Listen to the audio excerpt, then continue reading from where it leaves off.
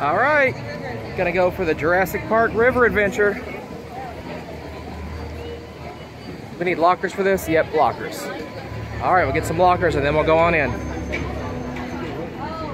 What's up everybody? I'm out here in Universal Studios in Orlando, Florida, as you can see by the big globe behind me, and I'm gonna be doing some fat guy ride testing. Let's go have some fun.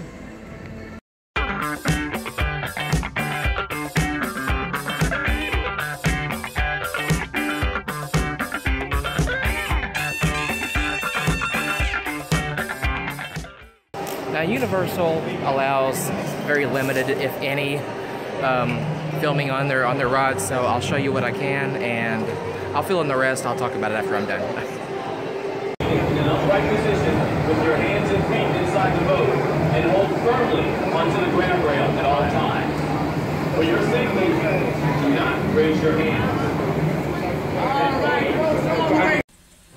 The Jurassic Park River Adventure is going to be a pretty easy one to manage for most people. Here's the boat. Um, as you will see, and if you're familiar with raft rides at amusement parks, this one is fairly standard, and you're not going to find much difference between this one and any others you've ridden at any other park. You will see that it is a bench seat, uh, fairly wide, fairly roomy. There is a step up here on the side to get down into the boat, and with that being said, you will have to step up to get out of the boat. But as long as you can manage that, you should be able to ride without any problems. There is this one giant bar that is the only restraint on the ride. It's going to come down as far as the largest person in the row. So be aware of that if you're riding with someone that's a little smaller. Maybe want to keep your arm around them just in case even though it's not that aggressive of a ride, you're not going to go anywhere. You're not going to fly out, so it's not that big of an issue.